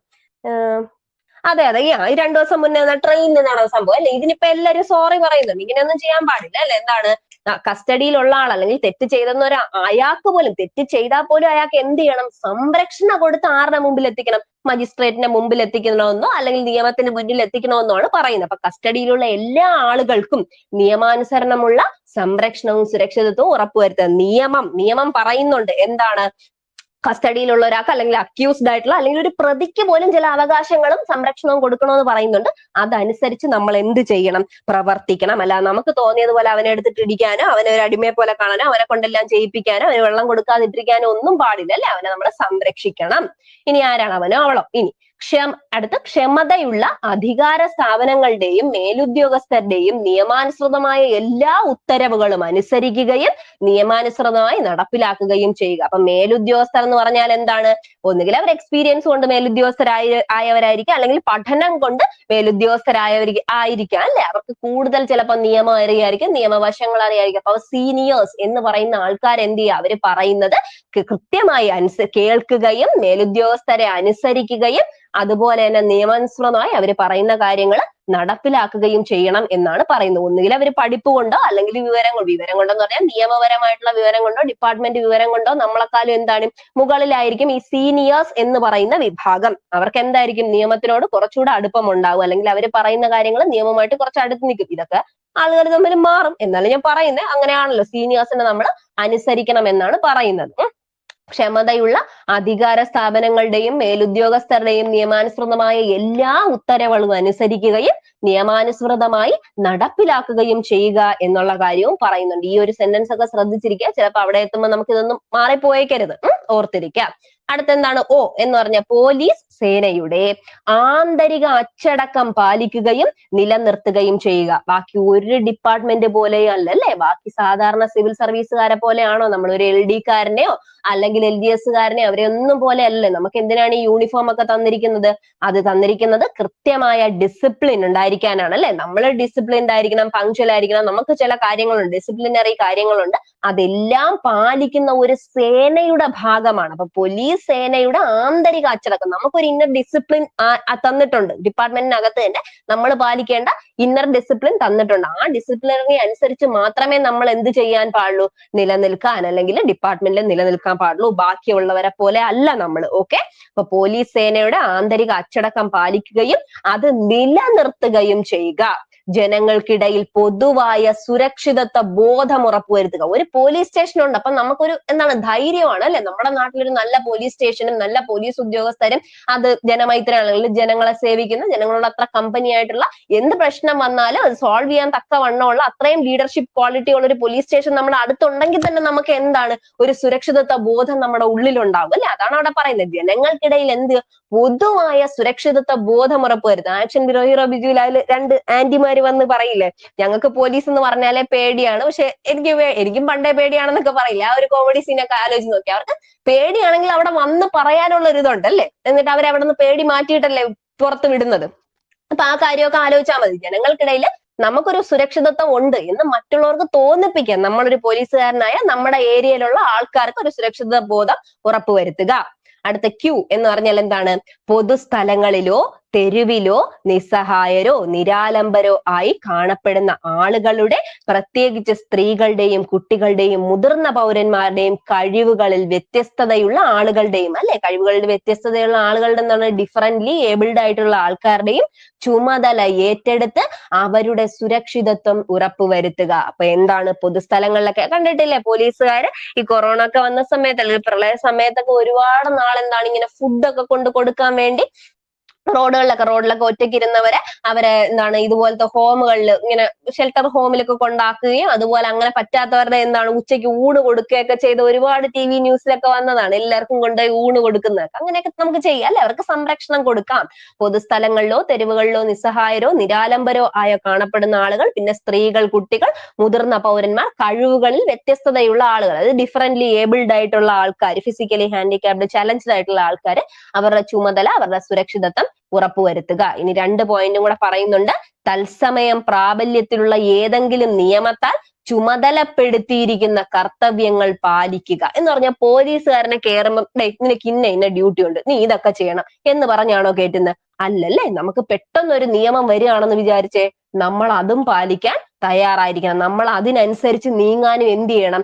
കൃത്യമായി സജ്ജമായിരിക്കണം. നമുക്ക് ഒരു നിയമം ഇപ്പൊ പ്രാബല്യത്തിൽ വരുന്നു. അപ്പൊ ഈ കേരളത്തിൽ ഇപ്പൊ ഒരു നിയമം അങ്ങ് പ്രാബല്യത്തിൽ വരുന്നു. പക്ഷെ നമ്മൾ അതിന് അതുമായിട്ട് എന്ത് ചെയ്യണം? ഇഴുകിച്ചേർന്ന് നമ്മൾ അതിനെ നോക്കണം എന്ന് പറയാൻ ഏതൊരു നിയമം വന്നാലും അല്ലെങ്കിൽ നിയമം നമ്മളെ ചുമതലപ്പെടുത്തി അതിൽ കുഞ്ഞു നിയമമായിക്കോട്ടെ വലിയ നിയമമായിക്കോട്ടെ എന്തോ ആയിക്കോട്ടെ ഒരു സ്ഥലം. ഇപ്പൊ എന്റെ ഒരു പഞ്ചായത്ത് എന്റെ പഞ്ചായത്തിന് ഇങ്ങനെ ഒരു പ്രശ്നം വരുന്നുണ്ട്. അപ്പൊ ഇവിടെ എന്താണ് രാത്രി കള്ളന്മാര് കൂടുതലായിട്ട് കയറുന്നുണ്ട് അപ്പൊ അവിടെ എന്താണ് നിങ്ങളുടെ ഡ്യൂട്ടി ഉണ്ട് നിങ്ങൾക്ക് രാത്രി സൺഡേ എന്നല്ല എല്ലാ ദിവസവും നിങ്ങൾക്ക് അവിടെ ഡ്യൂട്ടി ഉണ്ട് എന്ന് പറയുമ്പോൾ നമുക്ക് പറയാൻ പറ്റും. ഇല്ല. എനിക്ക് ചെയ്യാൻ പറ്റില്ല എനിക്ക് അവിടെ നിൽക്കാൻ പറ്റില്ല എനിക്ക് എന്റെ വീട്ടിൽ വേറെ പണിയുണ്ട് അല്ലെങ്കിൽ ഞാൻ ഈ ആഴ്ച മുഴുവൻ വർക്ക് ചെയ്യാന്ന് പറഞ്ഞ് വീട്ടിലിരിക്കാൻ പറ്റുമോ ഇല്ല. അപ്പൊ എന്ത് ഡ്യൂട്ടി വരുന്നത് തത്സമയം പ്രാബല്യത്തിലുള്ള ഏതെങ്കിലും നിയമം. അത് എന്ത് കുഞ്ഞു ചിലപ്പോൾ വലിയ നിയമമായിരിക്കും. ഇപ്പൊ ജമ്മു കാശ്മീരിലൊക്കെ വന്ന പോലെ വലിയ നിയമം വരാം. അല്ലെങ്കിൽ നമ്മുടെ നാട്ടിൽ വരുന്ന പോലെ ചെറിയ നിയമം വരാം. ഏത് നിയമം വന്നാലും നമ്മൾ എന്ത് ചെയ്യണം? സജ്ജരായിരിക്കണം. അത് ചെയ്യാൻ സജ്ജരായിരിക്കണം. ഇനി ലാസ്റ്റ് ആയിട്ട് യെസ് പത്തൊമ്പതാമത്തെ പോയിന്റ് പത്തൊമ്പത് പോയിന്റ് ഉണ്ട് കേട്ടോ. പത്തൊമ്പതാമത്തെ പോയിന്റ് എന്താണ് പറഞ്ഞത്? സർക്കാർ കാലകാലങ്ങളായി നിയമാനുസൃതം ഏൽ ഏൽപ്പിച്ചു കൊടുക്കുന്ന മറ്റു ചുമതലകളും നിർവഹിക്കേണ്ടതാണ്. അതായത് ഇപ്പം മറ്റു ചുമതലകൾ എന്ന് പറഞ്ഞാൽ നമുക്ക് എന്തൊക്കെ പറയാം? ഉം രാവിലെ സി എം സി എമ്മിന്റെ ഭവനത്തിൽ നിന്നും എവിടേക്ക് പോകുന്നു? നമ്മുടെ പാർലമെന്റിലേക്ക് പാർലമെന്റ് നമ്മുടെ നിയമസഭാ മന്ദിരത്തിലേക്ക് പോകുന്നു. പോലീസുകാർക്ക് വീട്ടിൽ ഇരിക്കാൻ പറ്റുമോ ഇല്ല എസ്കോട്ട് കൊടുക്കണം അല്ലെ? അതുപോലെ എന്തെല്ലാം കാലം? അത് എവിടെ പോയാലും ഇപ്പൊ സി എം എവിടെ പോകുന്നു? സി എമ്മിന്റെ കൂടെ പോവേണ്ടി വരും. അപ്പം അത് എന്താണ്? ആ സർക്കാരോ കാലാകാലങ്ങളായി നിയമ നിയമാനുസൃതമായി ഏൽപ്പിച്ചു വരുന്ന വേറെ എന്തെങ്കിലും കാര്യമൊക്കെ ഇപ്പൊ ആറ്റുകാൽ പൊങ്കാല ആറ്റുകാൽ പൊങ്കാലിന്റെ സമയത്ത് ആ- ഏരിയ ഏരിയയുള്ള ഏതെങ്കിലും പോലീസുകാർക്ക് വീട്ടിൽ ഇരിക്കാൻ പറ്റുമോ പത്മനാഭസ്വാമി ക്ഷേത്രത്തിൽ അങ്ങനെ ഒരു ഇത് വന്നാൽ എനിക്ക് ഇവിടുത്തെ കാര്യം ഞാൻ പറയുന്നതാണ് അപ്പൊ അങ്ങനെ എന്തെങ്കിലും കാര്യം വന്നാൽ അവിടെ ഇറങ്ങണം. ഇപ്പൊ ശബരിമല ഡ്യൂട്ടി ഇടുന്നില്ല? ശബരിമല ഡ്യൂട്ടി ഇടുമ്പോൾ ഒരു കൂട്ടം ആൾക്കാർ നാൽപ്പത്തൊന്ന് ദിവസത്തേക്ക് കെട്ടുപിടുത്തോണ്ട് അങ്ങോട്ട് പോവാണ്. പിന്നെ അവിടെ നിന്ന് വരാൻ പറ്റില്ല. കാലാകാലങ്ങളായി നിയമാനുസൃതം ഏൽപ്പിച്ചു കൊടുക്കുന്ന ചില ഡ്യൂട്ടി. അത് ചെയ്തേ പറ്റുള്ളൂ. അതിൽ നിന്ന് എന്ത് ചെയ്യാൻ പറ്റില്ല? ഒഴിഞ്ഞു നിൽക്കാൻ പറ്റില്ല. പിന്നെ മറ്റ് ഡിപ്പാർട്ട്മെന്റ് അതായത് സിവിൽ സർവീസിനെ വെച്ച് നോക്കുമ്പോൾ നമുക്കുള്ള ഒരു ഗുണം എന്ന് പറഞ്ഞാൽ എന്താണ്? നമ്മൾ എക്സ്ട്രാ ഒരു ഡ്യൂട്ടി എടുത്താൽ അതിനുള്ള എക്സ്ട്രാ പൈസയും കിട്ടും. അതുപോലെ എക്സ്ട്രാ നമുക്ക് ലീവും കിട്ടും. ഇപ്പൊ സൺഡേ ഒക്കെ നമ്മൾ പോയി വർക്ക് ചെയ്യുകയാണെങ്കിൽ നമുക്ക് അതിനുള്ള കൂലിയും കൂടുതൽ കിട്ടും. അതുപോലെ തന്നെ എക്സ്ട്രാ വേറെ ലീവ് എടുക്കാനുള്ള ദിവസവും അനുവദിച്ചു തരും. അങ്ങനെയൊക്കെ നമുക്ക് ചെറിയ ഇളവൊക്കെ ഉണ്ട്. പിന്നെന്താണ് സ്ത്രീകൾക്കും അതുപോലെ കഠിനമായിട്ടുള്ള ജോലികൾ അങ്ങനെയുള്ള കാര്യങ്ങളൊന്നും അവർ പറഞ്ഞില്ലെങ്കിൽ കൊടുക്കില്ല. അല്ലെങ്കിൽ അവരുടെ അനുവാദം ഇല്ലാതെ കൊടുക്കില്ല. അങ്ങനെയൊക്കെ കേരള പോലീസിന്റെ ചില കാര്യങ്ങളിലൊക്കെ ഉണ്ട്. അങ്ങനെ ചില നല്ല എന്താണ് നമുക്ക് റിലയൻസ് ആയിട്ടുള്ള കാര്യങ്ങളും ഉണ്ട്. എന്നാ എന്നാ അതുപോലെ തന്നെ നമ്മൾ എപ്പോഴും ഫുൾ സമയം എന്തായിരിക്കും സജ്ജരായിരിക്കണം. എപ്പോഴും എന്തായിരിക്കണം? തത്സമയം ആ സമയത്ത് എന്ത് പറയുന്നു? ആ സമയം എന്ത് ചെയ്യണം? നമ്മൾ ഡ്യൂട്ടി ചെയ്യാൻ തയ്യാറായിരിക്കണം. അങ്ങനെയാണ് ലാസ്റ്റ് രണ്ട് പോയിന്റ് പറയുന്നത്. ഓക്കെ ആണോ? ഓക്കെ ആണോ ഇത്രയും കാര്യങ്ങൾ? ഉം? കൃത്യമാണ്. ഇതെല്ലാം നമുക്ക് അറിയാന്നുള്ളത് തന്നെയാണ്. നമുക്ക് ലോജിക്കലി നമ്മൾ ഇത്രയും നാളും കണ്ടും വളർന്നും പഠിച്ചും നമ്മൾ തെറ്റാണെന്ന് കണ്ട കുറെ കാര്യങ്ങൾ. ഇപ്പൊ ഈ വാർത്ത തന്നെ കണ്ടില്ല? അത് തെറ്റാണെന്ന് നമുക്കറിയാം അല്ലെ? പിന്നെ വേറെ ഇതുപോലത്തെ നല്ല നല്ല ന്യൂസസും വരാറുണ്ട്. ഇതുപോലെ എന്താണ് പോലീസുകാരെ സംരക്ഷിച്ചതും പോലീസുകാർ ഫുഡ് കൊടുത്തതുമായ കാര്യങ്ങളും ഒക്കെ വരാറുണ്ട്. നല്ലതും മോശവും ഉണ്ട് അതിലത്ത് നല്ലത് ഏതൊക്കെയാണെന്ന് തിരിച്ചറിയാനുള്ള കഴിവൊക്കെ നമുക്കുണ്ട് അല്ലെ? അതെല്ലാം എന്ത് ചെയ്യണം? പോലീസിന്റെ ഡ്യൂട്ടി ആണെന്നാണ് പറയുന്നത്. ഒന്നുകൂടെ ഞാൻ ഓരോന്നിന്റെയും ഓരോ ഹിന്റ് വാക്കുകൾ മാത്രം വായിക്കാം. ഒന്നാമത് നമ്മൾ പറഞ്ഞത് ഭക്ഷ്യഭേദം കാണിക്കരുത്. രണ്ടാമത് പറഞ്ഞത് ആളുകളുടെ ജീവൻ സ്വാതന്ത്ര്യം സ്വത്ത് മനുഷ്യാവകാശം അന്തസ്സൊക്കെ സംരക്ഷിക്കുക. മൂന്ന് കാത്തു സൂ എന്താണ്? ആഭ്യന്തര സുരക്ഷ കാത്തു സൂക്ഷിക്കുക. തീവ്രവാദത്തിൽ നിന്നും പിന്നെ വർഗീയ ആക്രമണത്തിൽ നിന്നും ആഭ്യന്തര കലാപത്തിൽ നിന്നും രക്ഷിക്കുക.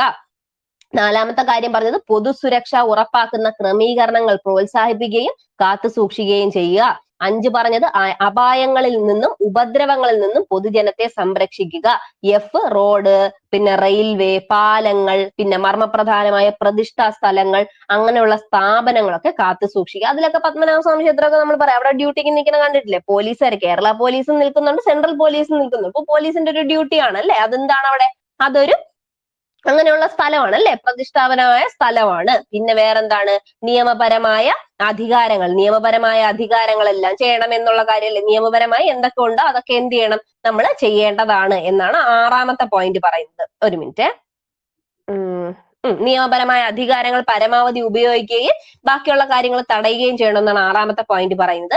അടുത്തെന്താണ് ഏഴാമത്തെ പോയിന്റിൽ പറയുന്നത്? കുറ്റകൃത്യങ്ങളെ കുറിച്ച് എന്തെങ്കിലും നിയമ നിയമാനുസരണ അന്വേഷണം നടത്തുകയും കുറ്റവാളിയെ കൃത്യമായ കുറ്റവാളിയെ നിയമത്തിന് മുന്നിൽ കൊണ്ടുവരികയും ചെയ്യുക. പിന്നെ എട്ടാമത് പറഞ്ഞത് പൊതുസ്ഥലങ്ങൾ ട്രാഫിക്കിന്റെ കാര്യം. എട്ടാമത് പറഞ്ഞത് ശ്രദ്ധിക്കുക. ട്രാഫിക്കിന്റെ കാര്യം ഒന്ന് ഓർത്തോളൂ. എല്ലാ പൊതുസ്ഥലങ്ങളിലും ട്രാഫിക് നിയന്ത്രണം. പിന്നെന്താണ്? അടുത്ത ഒമ്പതാമത് പറഞ്ഞത് കുറ്റകൃത്യങ്ങളായി പരിണമിച്ചേക്കാവുന്ന തർക്കങ്ങൾ നേരത്തെ തന്നെ മുൻകൂട്ടി കണ്ട് എന്താണ്? അത് സോൾവ് ചെയ്ത് വിടുക. സോൾവ് ചെയ്ത് വിടുക അല്ലെങ്കിൽ എന്താണ്? പരിഹരിക്കാൻ ശ്രമിക്കുക എന്നാണ് പറയുന്നത്. അടുത്ത പത്താമത്തെ പോയിന്റ് എന്താണ്? പ്രകൃതിദത്തമോ അല്ലാത്തതോ ആയ ദുരന്തങ്ങളോ അത്യാഹിതങ്ങളോ അപകടങ്ങളോ ഒക്കെ ഉണ്ടായാൽ അതിന്റെ ക്ലേശം തടഞ്ഞ് ആൾക്കാരെ നല്ലോണം ഇരുന്ന് സഹായിക്കുക. അടുത്ത പതിനൊന്നാമത്തെ പോയിന്റ് പോലീസിന്റെ എല്ലാ പ്രവർത്തനങ്ങളും രാഷ്ട്രത്തിന്റെ സുരക്ഷയ്ക്ക് സഹായകമായിരിക്കണം. പിന്നെ എന്തെങ്കിലും നിയമം പുതിയതായിട്ട് കൊണ്ടുവന്നാൽ അത് വ്യാപിപ്പിക്കണം. ആൾക്കാരുടെ ഇടയിൽ വ്യാപനം നടത്തുക. അടുത്ത പോയിന്റ് കസ്റ്റഡിയിലുള്ള എല്ലാ ആളുകൾക്കും നിയമാനുസൃതമായ സംരക്ഷണം കൊടുക്കുക. കസ്റ്റഡി ഓർത്തിരിക്കുക. അടുത്ത എന്താണ് പറഞ്ഞത്? ക്ഷത എന്താണ്? ആ ക്ഷമതയുള്ള അധികാര സ്ഥാ- സ്ഥാപനങ്ങളെയും മേലുദ്യോഗസ്ഥരെയും എന്ത് ചെയ്യുക? നമ്മൾ അനുസരിക്കുക. അവർ നിയമാനുസൃതമായി നടപ്പിലാക്കുന്ന പറയുന്ന കാര്യങ്ങൾ നമ്മൾ നടപ്പിലാക്കുക. പിന്നെ പോലീസ് സേനയ്ക്ക് ഒരു ഡിസിപ്ലിൻ ഉണ്ട്. അത് പാലിക്കണമെന്ന് പതിനഞ്ചാം നമ്മൾ പറഞ്ഞു. പിന്നെന്താണ് പറഞ്ഞത്? ജനങ്ങൾക്കിടയിൽ പൊതുവായ സുരക്ഷിതത്വ ബോധം. നമ്മൾ സുരക്ഷിതരാണ് എന്ന് അവർ സുരക്ഷിതരാണ് എന്ന് നമ്മൾ പോലീസ് ഡിപ്പാർട്ട്മെന്റിലുള്ളവര് കാണിച്ചു കൊടുക്കുക. അടുത്തെന്താണ്? പതിനേഴിൽ നമ്മൾ പറഞ്ഞത് പൊതുസ്ഥലങ്ങളിലോ തെരുവിലോ എവിടെയെങ്കിലും ഒക്കെ പാവപ്പെട്ടവര് അല്ലെങ്കിൽ എന്താണ് സ്ത്രീകളോ കുട്ടികളോ മെയിൻ ആയിട്ട് സ്ത്രീകളും കുട്ടികളും നിരാലംബരായ ആൾക്കാരും മുതിർന്ന പൗരന്മാരും ഒക്കെ ഉണ്ടെങ്കിൽ അവരെ സുരക്ഷിതത്വം ഉറപ്പുവരുത്തുക. പിന്നെ അവസാനമായിട്ട് നമ്മൾ പറഞ്ഞ എന്താണ്? രണ്ട് പോയിന്റ് തത്സമയം എന്തെങ്കിലും പ്രാബല്യത്തിലുള്ള നിയമം അനുസരിച്ച് അതിന് അതിനുവേണ്ടി സേവിക്കുക. ആ കർത്തവ്യങ്ങളെല്ലാം ചുമതലപ്പെടുത്തിയിരിക്കുന്ന കർത്തവ്യങ്ങളെല്ലാം പാലിക്കുക. പിന്നെ ഏറ്റവും ലാസ്റ്റ് ആയിട്ട് പറഞ്ഞത് സർക്കാരോ അല്ലെങ്കിൽ കാലാകാലങ്ങളായി നിയമാനുസൃതമായി ഏൽപ്പിച്ചു കൊടുക്കുന്ന മറ്റു ചുമതലകളോ നിർവഹിക്കാനും നമ്മൾ എന്തായിരിക്കണം? സജ്ജരായിരിക്കണം. പോലീസുകാരുടെ ചുമതലകളാണ് ഇത്രയും പറഞ്ഞത്. ഇതെല്ലാം നമ്മൾ കുറെ കാലം കൊണ്ട് കേൾക്കുന്ന കാര്യങ്ങളൊക്കെ തന്നെയാണ്. അപ്പൊ ഇത്രയാണ് നാലിൽ പത്തൊമ്പത് പോയിന്റുകൾ പറഞ്ഞതും എല്ലാ എനിക്ക് മനസ്സിലാവും. പത്തൊമ്പത് എണ്ണം കാണാതൊന്നും പഠിക്കാൻ ആർക്കും പറ്റില്ല. കാര്യങ്ങൾ എന്തൊക്കെയാണെന്ന് ഉറപ്പായിട്ട് ഓർത്തിരിക്കുക. അടുത്ത പോയിന്റ് എന്താണ്? അടുത്ത നമുക്ക് പഠിക്കാനുള്ള സെക്ഷൻ ഏതാണ്? സെക്ഷൻ സെവൻ ആണ്. എന്താണ് ഈ സെക്ഷൻ സെവനിൽ പറഞ്ഞത്? വായിച്ചു നോക്കിയായിരുന്നോ? എന്താണ് സെക്ഷൻ സെവനകത്ത് പറയുന്നത്? Citizens have the right to efficient police service അല്ലേ? എന്താണ് ഈ പോലീസ് സർവീസ് എഫിഷ്യന്റ് ചെയ്യുക എന്ന് പറയുന്നത്? കാര്യക്ഷമമായ പോലീസ് സേവനത്തിന് ആളുകൾക്ക് അവകാശമുണ്ട്. അല്ലെ? ആളുകൾക്ക് എന്തിന്റെ അവകാശമുണ്ട്? സാധാരണ ഒരു പൗരന് എന്തിനുള്ള അവകാശമുണ്ട്? കാര്യക്ഷമമായ പോലീസ് സേവനം ലഭിക്കാനുള്ള അവകാശം. ഒരു എഫിഷ്യന്റ് ആയിട്ടുള്ള പോലീസ് സർവീസ് കിട്ടാനുള്ള അവകാശം എല്ലാ ജനങ്ങൾക്കും ഉണ്ട്. എല്ലാ ആളുകൾക്കും ഉണ്ട് എന്നാണ് പറയുന്നത്. എല്ലാ ആളുകൾക്കും പോലീസ് സ്റ്റേഷനിൽ നിന്ന് കാര്യക്ഷമമായ പോലീസ് സേവനത്തിന് അവകാശം ഉണ്ടായിരിക്കേണ്ടതാണ് എന്ന് മാത്രമാണ് ഇതിൽ പറയുന്നത്. സെവനിൽ പറയുന്നത്. അപ്പൊ സെവൻ എന്താണ്? എന്താണ്?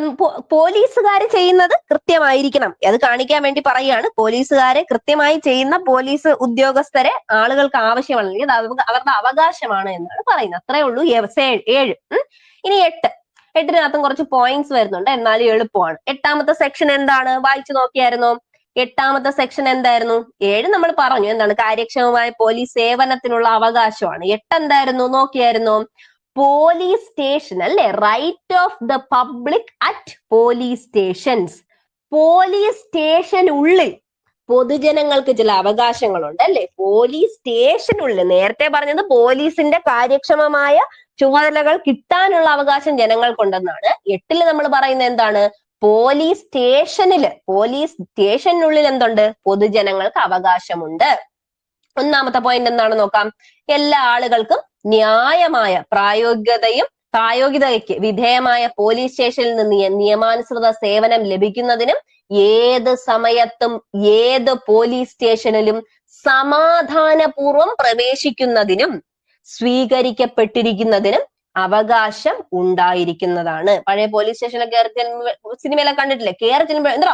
എന്താ ഇവിടെ ഇങ്ങനെയൊക്കെ ചോദിക്കുന്നത് കേട്ടിട്ടില്ലേ? അങ്ങനെയൊന്നും ചോദിക്കാൻ പാടില്ല അല്ലേ? ആൾക്കാർ കയറി വരുമ്പോൾ അവർക്ക് അവിടെ എന്തുണ്ടായിരിക്കണം? ഒരു നല്ല അറ്റ്മോസ്ഫിയർ ഉണ്ടാക്കി കൊടുക്കണം. എല്ലാ ആളുകൾക്കും ന്യായപരമായ പ്രായോഗികതയ്ക്ക് അതായത് അവരുടെ ന്യായപരമായി പ്രയോഗിക്കാൻ വേണ്ടി വിധേയമായ പോലീസ് സ്റ്റേഷനിൽ നിന്ന് നിയമാനുസൃത സേവനം അവർക്ക് കൊടുക്കേണ്ടതാണ്. ഏത് സമയത്തും ഏത് പോലീസ് സ്റ്റേഷനിലും സമാധാനപൂർവം പ്രവേശിക്കുന്നതിനും സ്വീകരിക്കപ്പെടുന്നതിനും. അവരെ ഇങ്ങോട്ട് സ്വീകരിക്കണം അല്ലെ? വെൽക്കം ചെയ്യണം അവരെ. വെൽക്കം ചെയ്യണതിന് അവകാശം ഉണ്ടായിരിക്കുന്നതാണ്.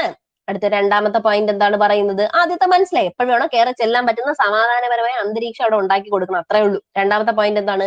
പൊതുജനങ്ങളിൽ ഏതൊരാൾക്കും ന്യായമായ നിയന്ത്രണങ്ങൾക്ക് വിധേയമായ പോലീസ് സ്റ്റേഷന്റെ ചുമതലയുള്ള ഉദ്യോഗസ്ഥനെ കാണുവാനും കാര്യങ്ങൾ അറിയിക്കുവാനുമുള്ള അവകാശം ഉണ്ടായിരിക്കുന്നതും മതിയായ കാരണങ്ങളില്ലാതെ ഈ അവകാശം നിഷേധിക്കുവാൻ പാടുള്ളതുമല്ല. അതെന്തുകൊണ്ടാണ് അങ്ങനെ പറയുന്നത്? ഈ പോലീസ് സ്റ്റേഷന്റെ ചുമതലയുള്ള ഉദ്യോഗസ്ഥൻ. ആരാണ് ഈ പോലീസ് സ്റ്റേഷന്റെ ചുമതലയുള്ള ഉദ്യോഗസ്ഥൻ? ഒരു കോൺസ്റ്റബിളിനാണോ ഒരു പോലീസ് സ്റ്റേഷന്റെ ചുമതല?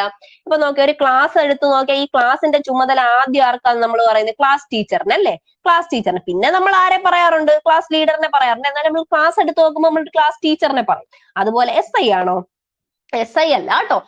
സാധാരണ എപ്പോഴും സ്റ്റേഷൻ ഹൗസ് ഓഫീസർ എന്നാണ് അതിന് പറയുന്നത്. സ്റ്റേഷൻ എസ് എച്ച് ഒ എന്ന് പറയും. ചില വണ്ടികളൊക്കെ ശ്രദ്ധിച്ച കാണാൻ പറ്റും. പോലീസ് വണ്ടികളുടെ ഫ്രണ്ടിൽ എസ് എച്ച് ഒ എന്ന് എഴുതി വെച്ചിട്ടുണ്ടായിരിക്കും. സ്റ്റേഷൻ ഹൗസ് ഓഫീസർ എന്നാണ് പറയുന്നത്. സ്റ്റേഷൻ ഹൗസ് ഓഫീസർ ആണ് എപ്പോഴും എന്തിന്റെ? നമ്മുടെ ഒരു പോലീസ് സ്റ്റേഷന്റെ ചുമതല. അത് സാധാരണ വരുന്നത് ഒരു സി ഐക്കാണ് പിന്നെ സി ഐയുടെ പ്രത്യേകത എന്ന് പറഞ്ഞാൽ എന്താണ്? സർക്കിൾ ഇൻസ്പെക്ടർ എന്ന് പറഞ്ഞാൽ ഒരു സർക്കിളിന്റെ ഇൻസ്പെക്ടറാണ് അവിടെ ഒരു പോലീസ് സ്റ്റേഷൻ അല്ല വരും. ഒരു നാലഞ്ച് പോലീസ് സ്റ്റേഷൻ വരും. അതിന്റെ ഒക്കെ ചുമതല ആർക്കായിരിക്കും? ഒരു സി ഐക്കായിരിക്കും അപ്പൊ അങ്ങനെയൊക്കെ എല്ലാം കൂടെ നോക്കാൻ പറ്റാത്ത സമയത്ത് ആര് വരാറുണ്ട്? അവിടെ എസ് ഐ വരാറുണ്ട്. അവിടെ റാങ്കിനെക്കാളും കൂടുതൽ ആ എസ് എച്ച് ഒ എന്ന പദവി അല്ലെങ്കിൽ ആ ഒരു വേർഡിനാണ് അവിടെ ഇത് മീനിങ് എന്ന് പറഞ്ഞത് പോലീസ് സ്റ്റേഷന്റെ ചുമതലയുള്ള ഉദ്യോഗസ്ഥൻ എന്ന് പറഞ്ഞാൽ എസ് എച്ച് ഒ ആണ് കേട്ടോ. ഇനി പോലീസിന്റെ വണ്ടിയൊക്കെ ശ്രദ്ധിച്ചാൽ മതി. സർക്കിൾ ഉള്ള പോലീസ് സ്റ്റേഷനിലെ പോലീസ് വണ്ടിയാണെങ്കിൽ എന്റെ ഫ്രണ്ടിൽ എസ് എച്ച് ഒ എന്ന് എഴുതിയിരിക്കും. എന്റെ നാട്ടിലുള്ള എന്റെ വീടിന്റെ അടുത്തുള്ള പോലീസ് സ്റ്റേഷൻ ഒരു S H O police station അവിടെ സർക്കിൾ ഉണ്ട്. അപ്പം എന്റെ ഇവിടെ ഒരു വലിയ ഏരിയയിലെ ഫുൾ സർക്കിൾ അവിടെയാണ് ഇരിക്കുന്നത്. അദ്ദേഹം അവിടെ ഉള്ളത് കൊണ്ട് തന്നെ അദ്ദേഹമാണ് അവിടുത്തെ എസ് എച്ച് ഒ അപ്പൊ പോലീസ് സ്റ്റേഷന്റെ ചുമതലയുള്ള ഉദ്യോഗസ്ഥനെ ഏത് സമയവും ആർക്കും കാണാനുള്ള ഒരു കാര്യം ഉണ്ടായിരിക്കില്ല. പിന്നെ എങ്ങനെ? അവിടെ ടേംസ് ആൻഡ് കണ്ടീഷൻ പറഞ്ഞിട്ടുണ്ട് അല്ലെ മതിയായ കാരണങ്ങൾ ഇല്ലാതെ ഈ അവകാശം നിഷേധിക്കാൻ പാടില്ല. എന്ന് പറഞ്ഞപ്പോ ആലോചിച്ച് നോക്കിയേ. ഒരു കുടിച്ചോണ്ട് വരുന്ന ഒരാൾ അങ്ങനെ കുടിച്ചോണ്ട് വന്നിട്ട് എസ് ഐ കാണണം? എസ് എച്ച് ഒ കാണണം? എന്ന് പറയുകയാണ്. അപ്പൊ നമുക്ക് അങ്ങനെ കാണിക്കാൻ പറ്റുമോ? ഇല്ല. കാണിക്കാൻ പറ്റില്ല എന്നല്ല. കാണിക്കാനൊക്കെ പറ്റും. അപ്പൊ അയാളോട് ഹാർഷായിട്ട് ചിലപ്പോൾ പെരുമാറേണ്ടി വരും അല്ലെ? നീ എന്തിനാണ് കുടിച്ചോണ്ട് ഇവിടെ വരുന്നതെന്നൊക്കെ ചോദിക്കേണ്ടി വരും. അവിടെ എന്തല്ല? ന്യായമായ ഒരു കാര്യമല്ലല്ലേ? പൊതുജനങ്ങളിൽ ഏതൊരാൾക്കും ന്യായമായി കയറി ചെല്ലാം എന്ന് പറയാൻ പറ്റില്ല അവിടെ. അപ്പൊ എങ്ങനെയാണ്? മതിയായ കാരണങ്ങൾ ഇല്ലാതെ ഈ അവത ഈ അവകാശത്തിനെ നിഷേധിക്കാൻ പാടില്ല. ഞാൻ ഒരു എക്സാമ്പിൾ പറഞ്ഞതാണ് വെള്ളം അടിച്ചുകൊണ്ട് കയറി ചെല്ലുന്നത്. അങ്ങനെ ഏതൊരു എന്തായാലും അങ്ങനെ ഒരു മോശം കണ്ടീഷനിൽ കയറി ചെന്നാൽ എന്താണ്? അപ്പൊ എസ് എച്ച് ഒയെ കാണണം അല്ലെങ്കിൽ എനിക്ക് ഇങ്ങനെ പറയണം അങ്ങനെ പറയണമെന്നൊന്നും പറഞ്ഞിട്ട് കാര്യമില്ല. കറക്റ്റ് ആയിട്ടാണ് വരുന്നതെങ്കിൽ കറക്റ്റ് ആയിട്ട് കണ്ടിട്ട് പോവാം. മൂന്നാമത്തെ പോയിന്റ് സ്ത്രീകൾക്ക് വനിതാ പോലീസിന്റെ സാന്നിധ്യത്തിൽ സ്വകാര്യതയോടെ പരാതി നൽകുവാനുള്ള സ്വകാര്യം സൗകര്യം പോലീസ് സ്റ്റേഷനിൽ ഉണ്ടായിരിക്കേണ്ട. അറിയാലോ നമുക്കൊരു കേസ് വരുന്നു. ഇപ്പൊ എന്നെ ഞാൻ എന്ന് പറയുന്ന ഒരു ഫീമെയിൽ ആയിട്ടുള്ള ഒരാൾ എനിക്കൊരു അബ്യൂസ് സംഭവിച്ചു എന്ന് പറഞ്ഞിട്ട് എനിക്ക് പോലീസ് സ്റ്റേഷനിൽ കംപ്ലൈന്റ് ചെയ്യാൻ പോണം. അപ്പൊ ഞാൻ അവിടെ ചെല്ലുമ്പോൾ എനിക്ക് എന്റെ എനിക്ക് എന്റെ പ്രൈവസി ഉണ്ട്. അല്ലെങ്കിൽ എനിക്കത് പറയാൻ ഒരു പോലീസ് ഉദ്യോഗസ്ഥ എസ് എച്ച് ഒയോ അല്ലെങ്കിൽ സി ഐയോ എസ് ഐ ആയിട്ട് പുരുഷനോട് പറയാൻ ബുദ്ധിമുട്ടുണ്ടെങ്കിൽ അവിടെ ഏതോ ഏതെങ്കിലും റാങ്കിൽ ഇരിക്കുന്ന ആയിക്കോട്ടെ ഒരു വനിതാ പോലീസിനെ വിളിച്ചിട്ട് എനിക്ക് അവരോട് മാത്രമായിട്ട് എന്ത് ചെയ്യാം? സംസാരിക്കാം. അതാണ് സ്ത്രീകൾക്ക് വനിതാ പോലീസിന്റെ സാന്നിധ്യത്തിൽ സ്വകാര്യതയോടെ പരാതി നൽകുവാനുള്ള സൗകര്യം എന്ത് ചെയ്യുന്നുണ്ട്? പോലീസ് സ്റ്റേഷനിൽ ഒരുക്കുന്നുണ്ട് എന്നാണ് പറയുന്നത്. ഓക്കെ ആണല്ലോ അത്. അതൊന്ന് ശ്രദ്ധിച്ചേക്ക് കേട്ടോ. അവിടെ എസ് എച്ച് ഒയും സി ഐ എസ് ഐ ഒന്നും കണക്കാക്കേണ്ടതില്ല. ഏതെങ്കിലും വനിതാ പോലീസ് മതി. അടുത്ത് പൊതുജനങ്ങളിൽ ഏതൊരാൾക്കും അയാൾ നൽകിയ പരാതിയെ സംബന്ധിച്ച് കൈപ്പറ്റിയ രസീത് ലഭിക്കുവാനും പരാതി സംബന്ധിച്ചുള്ള പോലീസ് നടപടിയോ അന്വേഷണത്തിന്റെയോ അവസ്ഥ അറിയാനും അവകാശം ഉണ്ടായിരിക്കേണ്ടതാണ് അതിന്റെ അർത്ഥം എന്താണ്? നമ്മൾ ഒരു പരാതി പറഞ്ഞു ആ പരാതി വെള്ളത്തിൽ വരച്ച വര പോലെ ആയിപ്പോവാതെ നമുക്ക് ആ പരാതി സ്വീകരിച്ചിട്ടുണ്ട്. ഞങ്ങൾ ഈ സ്റ്റേഷനിൽ നിങ്ങളുടെ പരാതി സ്വീകരിച്ചിട്ടുണ്ട് എന്നുള്ളതായിട്ട് ആ പരാതിയുടെ കോപ്പിയും അതിന്റെ റെസീപ്റ്റും അല്ലെ? അതിന്റെ റെസീപ്റ്റും കൊടുക്കേണ്ടതാണ്. ഒപ്പം എന്താണ്? അതിന്റെ ഫോളോ അപ്പ് അതിന്റെ ഫോളോ അപ്പ് അറിയാനുള്ള അവകാശം ആർക്കുണ്ട്? ഒരു പൗരൻ അല്ലെങ്കിൽ ഒരു ജനത്തിന് ജനങ്ങൾക്ക് എല്ലാവർക്കും ഉണ്ടല്ലേ? ഇപ്പൊ ഞാൻ നേരത്തെ പറഞ്ഞത് ഞാൻ അബ്യൂസ് കേസ് പറയാൻ വേണ്ടി ഞാൻ ഒരു സ്റ്റേഷനിൽ ചെല്ലുകയാണ് ഞാനത് പറയാണ് എനിക്ക് അവിടെ നിന്ന് രസീത് തന്നിട്ട് പിന്നെ അപ്പോഴപ്പോഴും എന്നെ വിളിച്ചു പറയണം ഞാൻ അയാളെ പിടിച്ചോ? അല്ലെങ്കിൽ ഞാനല്ല പോലീസ് സ്റ്റേഷനിൽ നിന്ന് അയാളെ പിടിച്ചോ? അല്ലെങ്കിൽ അയാൾക്ക് എന്തായി? ആ കേസ് എന്തായി? ആ കേസിന്റെ ബാക്കി എന്തായി? അയാളെ സ്റ്റേഷനിൽ കൊണ്ടു അല്ലെ നിയമത്തിന്റെ മുന്നിൽ കൊണ്ടുപോകുന്നുണ്ടോ? കോടതിയിൽ സബ്മിറ്റ് ചെയ്യാൻ പോകുന്നുണ്ടോ? ഈ കാര്യങ്ങളെല്ലാം ആരെ വിളിച്ചു പറയണം? ആ പരാതി നൽകി ആളോട് വിളിച്ചു പറയേണ്ടതാണ്. നമ്മൾ ഏതിൽ പഠിച്ചു? നമ്മളെ എവിഡൻസിലൊക്കെ നമ്മൾ പഠിച്ചല്ലേ അതായത് കൃത്യമായ എവിഡൻസ് ഇല്ലെങ്കിൽ പോലീസിന് കളഞ്ഞിട്ട് പോകാം എന്നൊക്കെ പറഞ്ഞ ഓർമ്മയില്ലേ? അതൊക്കെ ഇവിടെ ആപ്ലിക്കബിൾ ആണ്. പക്ഷെ കൃത്യമായിട്ട് എന്ത് ചെയ്യണം? Follow up കൊടുത്തിരിക്കണം. അടുത്തെന്താണ് പറയുന്നത്? പൊതുജനങ്ങളിൽ ഏതൊരാളും അയാൾ പോലീസ് സ്റ്റേഷനിൽ വാക്കാലോ രേഖാമൂലമായോ നൽകിയ ഏതൊരു പരാതിയുടെയും ചുരുക്കം പോലീസ് സ്റ്റേഷനിൽ കാലാനുക്രമത്തിലും സമകാലീനവുമായി വച്ചുപോരുന്നതിനായി സ്ഥിരം രജിസ്റ്റർ തൽസമയം രേഖപ്പെടുത്തേണ്ടതാണ്. അറിയാലോ കാര്യം എന്താണെന്ന് അറിയാലോ എഫ് ഐ ആർ കൊടുക്കുന്നതിനോടൊപ്പം തന്നെ ഒരു വലിയ രജിസ്റ്റർ ബുക്ക് ഉണ്ട് അല്ലെ എല്ലാ പോലീസ് സ്റ്റേഷനിലും അതിൽ കൃത്യമായിട്ട് നമ്മൾ എന്നും പത്രത്തിൽ നിന്ന് കറണ്ട് അഫയർ എഴുതിയെടുക്കുന്നത് പോലെ ഇന്ന ഇന്ന ഡേറ്റ് ഇട്ട് കൃത്യം അതാണ് സമകാലികവുമായി കാലാനുക്രമത്തിൽ. കാലാനുക്രമം എന്ന് പറഞ്ഞാൽ ക്രോണോളജിക്കൽ ഓർഡറിൽ ഓരോ ഡേറ്റ് ഇട്ട് കൃത്യ ഓർഡറിലും സമകാലീനവുമായിട്ട് കറണ്ട് ആയിട്ട് നടന്നുപോയ കേസുകളെല്ലാം അതിൽ എന്ത് ചെയ്യണം? ആ രജിസ്റ്ററിൽ ആ സമയം തൽസമയം രേഖപ്പെടുത്തി പോരേണ്ടതാണ്. എല്ലായിടത്തും എന്തുണ്ട്? രജിസ്റ്റർ ഉണ്ട്. ഏതൊരു സിനിമയിലുണ്ട്? ജയറാമിന്റെ പടത്തിലുണ്ട്. ഒരു പോലീസ് സ്റ്റേഷനിൽ കയറി ചെന്നിട്ട് ഇവിടെ രജിസ്റ്റർ ഇങ്ങോട്ട് എടുത്ത് ഈ ഈ ആഴ്ച വന്ന കേസുകളൊക്കെ ഒന്ന് നോക്കണം എന്ന് പറഞ്ഞിട്ട് കൊടുക്കുന്നുണ്ട്. സി ബി ഐ പോലത്തെ എന്തോ ഒരു കേസ് ഒരു ചെറിയ കോമഡി പടമാണ് അതിനകത്ത് ഇങ്ങനെ പറയുന്നത് എനിക്ക് ഓർമ്മയുണ്ട്. അപ്പൊ അതെന്താണ് ഉദ്ദേശിക്കുന്നത്? ആ രജിസ്റ്ററിൽ നോക്കിയാൽ അറിയാം ഈ ഏരിയയിൽ എന്തൊക്കെ കേസ് വന്നിട്ടുണ്ടെന്ന്. അല്ലാതെ എല്ലാ ഫുൾ ഫയലും എടുത്ത് പഠിക്കാൻ സമയമില്ലാത്ത രജിസ്റ്റർ നോക്കിയാലും മതി. ആറാമത്തെ പോയിന്റ് ഈ ഏഴ് എന്താണ് എട്ടാമത്തെ സെക്ഷനിൽ ആറാമത്തെ പോയിന്റ് ലാസ്റ്റ് പോയിന്റ് എന്താണ് പറയുന്നത്. ഏതൊരു പൗരനും ഏതെങ്കിലും ഒരു പ്രത്യേക ആൾ പോലീസ് സ്റ്റേഷനിൽ കസ്റ്റഡിയിൽ ഉണ്ടോ എന്ന് അറിയുവാൻ അവകാശം ഉണ്ടായിരിക്കുന്നതാണ്. നമ്മൾ ഹോസ്പിറ്റലിൽ ചെന്ന് റിസപ്ഷനിൽ ചോദിക്കും അല്ലെ? ഇങ്ങനെ ഒരാൾ ഇപ്പം എന്താണ് രേണുക എന്ന് പേരുള്ള ഒരാൾ ഇവിടെ അഡ്മിറ്റഡ് ആണ്? ഒരു ആക്സിഡന്റ് കേസ് ആയിരുന്നു എന്നൊക്കെ ചോദിക്കുന്ന റിസപ്ഷനിൽ കേട്ടില്ല. അതുപോലെ നമുക്കൊരു പോലീസ് സ്റ്റേഷനിൽ വിളിച്ചു ചോദിക്കാം. ഇങ്ങനെ അരുൺ എന്ന് പറയുന്ന ഒരു പ്രതി അവിടെ ഉണ്ടോ എന്ന് വിളിച്ചു ചോദിക്കാം. എന്താണ്? നമ്മൾ അവിടെ ഉണ്ടോ ഇല്ലയോ എന്ന് പറഞ്ഞു കൊടുക്കാനുള്ള ഇതുണ്ട്. ആർക്ക്? അത് അറിയാനുള്ള ഏതൊരാളിനും അവകാശമുണ്ട്. ഏതൊരാൾക്കും വിളിച്ചു ചോദിക്കാം. അല്ല ബന്ധു എന്ന് പറയണ്ട. ഞാൻ അവന്റെ ചേട്ടനാണെന്നോ അനിയനാണെന്നോ അനിയത്തിയാണെന്നോ ഒന്നും പറയണ്ട. ഇങ്ങനെ ഒരാൾ നിങ്ങൾ കസ്റ്റഡിയിൽ വെച്ചിട്ടുണ്ടോ എന്ന് ചോദിച്ചാൽ അത് പറയണം. അത് ഏത് തരത്തിലായാലും വിളിച്ചു ചോദിച്ചാലും അവിടെ ചെന്ന് ചോദിച്ചാലും എങ്ങനെയാണെങ്കിലും കാണാനൊന്നും അനുവദിക്കണമെന്നൊന്നും ഇല്ല കേട്ടോ. അത് ഓരോ കേസ് പോലെ ഇരിക്കും. കാണാൻ അനുവദിക്കണമെന്നൊന്നും നിർബന്ധമൊന്നുമില്ല. പക്ഷെ എന്താണ്? അവിടെ ഉണ്ടോ ഇല്ലയോ എന്നുള്ള കസ്റ്റഡിയിൽ ഉണ്ടോ ഇല്ലയോ എന്നുള്ള കാര്യം പറയുക. അപ്പൊ ഇത്രയും കാര്യം. ആറ് പോയിന്റ്സ് ആണ് എട്ടാമത്തേൽ വരുന്നത്. പോലീസ് സ്റ്റേഷനിലുള്ള കാര്യം. അപ്പൊ പോലീസ് സ്റ്റേഷനിൽ പൊതുജനങ്ങൾക്ക് എന്തൊക്കെ അവകാശം ഉണ്ടെന്ന് പറഞ്ഞു? ആദ്യം നമ്മൾ പറഞ്ഞത് എല്ലാ സേവനങ്ങളും അല്ലെ? ന്യായമായി എല്ലാ സേവനങ്ങളും സമാധാനപൂർവം പറഞ്ഞു കൊടുക്കുക. അവിടെ പ്രവേശിക്കാനുള്ള ഒരു എൻവിയോൺമെന്റ് ക്രിയേറ്റ് ചെയ്ത് ഇട്ട് കൊടുക്കുക. രണ്ടാമത് നമ്മൾ പറഞ്ഞ ഈ എസ് എച്ച്ഒയുടെ കാര്യം അല്ലെ? എന്താണ്? പോലീസ് സ്റ്റേഷന്റെ ചുമതലയുള്ള ഉദ്യോഗസ്ഥനെ ഏത് സമയത്തും കാണാനും എന്നാൽ എന്താണ് കാരണമില്ലാതെ ഈ അവകാശത്തെ നിഷേധിക്കാൻ പാടില്ല. എപ്പോഴും എപ്പോഴും വേണോ കാണിച്ചു കൊടുക്കാന്നുള്ള രീതിയിൽ കാണാം എന്നുള്ള ഒരു അവിടെ ആ എൻവയോൺമെന്റും ക്രിയേറ്റ് ചെയ്തിടുക. മൂന്നാമത് നമ്മൾ പറഞ്ഞ സ്ത്രീകൾ. സ്ത്രീകളുടെ കാര്യം പറയാൻ അവർക്ക് താല്പര്യം സ്ത്രീകളോടാണ്. അല്ലെങ്കിൽ സ്ത്രീ വനിതാ പോലീസിനോട് പറയണം എന്നുണ്ടെങ്കിൽ അത് അതിനുള്ള സെറ്റപ്പ് ഉണ്ടാക്കി കൊടുക്കണം.